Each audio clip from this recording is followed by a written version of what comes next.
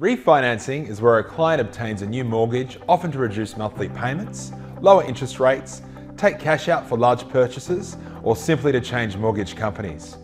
Often people refinance when they have equity in their home, which is the difference between the amount owed to the mortgage company and the value of the home.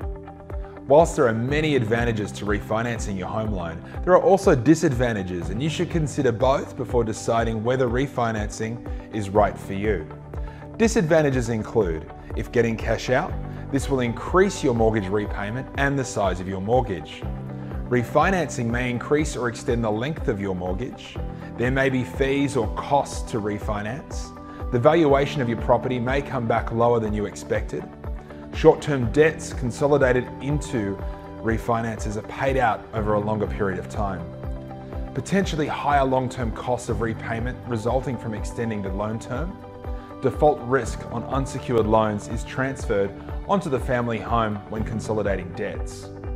Advantages include reducing monthly repayments, acquiring better loan features, using equity in your home to get additional cash, saving money by paying a lower interest rate, and allowing you to consolidate multiple debts into one repayment. Before making a decision on whether this type of loan is suitable for you, it is important for you to consider this information and discuss the suitability of this loan type with your mortgage professional.